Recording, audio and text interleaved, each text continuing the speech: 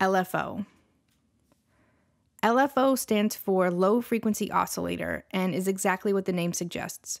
It's an oscillator which emits an electronic signal just like any oscillator, but its signal is at a very, very low frequency. So low, in fact, that it's often below the range of human hearing. You might ask yourself, why would someone create an oscillator which emits a sound we can't hear?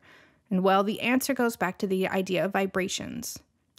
The waveform an oscillator creates travels back and forth, back and forth, back and forth, like a pendulum, and we can use that movement to create a lot of musical effects.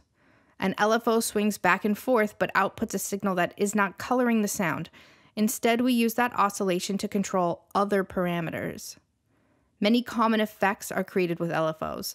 If we assign the LFO's pendulum swing to a volume knob, we have a tremolo, a repeating change in amplitude. If we assign it to a frequency parameter, we get vibrato, a repeating change of pitch patterns. When we assign it to the cutoff frequency parameter of a filter, we get a cyclic variation in timbre, which is how we get those cool wobble bass lines.